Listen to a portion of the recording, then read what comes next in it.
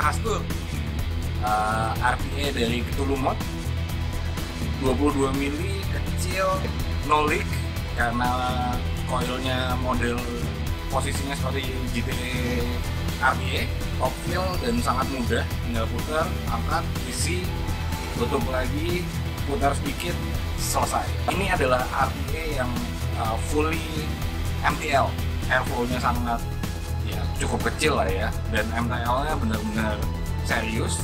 Karena chambernya kecil dan vakum rasanya itu dari awal tanpa tanpa udara no airy at all dan sangat nyaman. Misalnya dengan build untuk salt atau untuk yang freebase high nikotin ini cocok banget.